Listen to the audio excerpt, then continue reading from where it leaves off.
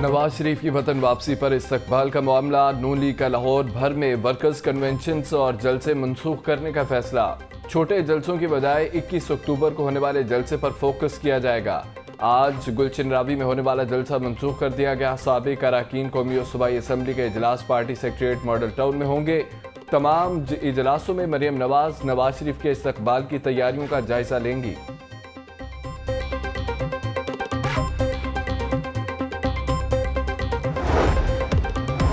और लाहौर को स्मोक से बचाने का मिशन, निगरान पंजाब हुकूमत का दो माह तक हर बुध को लाहौर बंद रखने का फैसला। 18 अक्टूबर को स्कूल्स, मार्केटें, सरकारी और निजी इदारे बंद होंगे। हतमी फैसला कबीना कमेटी के इजलास में होगा। ताजरों ने कमीशन लाहौर और सी सी पी ओ की तजावीज़ मान ली है। कमीशन लाहौर कहते हैं कि बुध को वर्क फ्रॉम होम होगा।